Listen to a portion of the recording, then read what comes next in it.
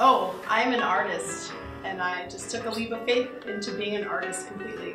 I never really had to go through the high flying career to figure out that that's what I wanted to do instead. I saw people around me following the prescribed lifestyle and getting the house and getting the kids, and I knew I didn't want to do that. I knew um, I didn't have to go through it to understand I didn't want to do that. You can't really even having a steady paycheck where you know you're going to get paid, you know you're to have things covered, you know you're going to have some kind of stability in the face of society. Like, I, I don't, the trade off is like having other people dictate your time, having other people dictate your your creativity, having other people having so much control over your life.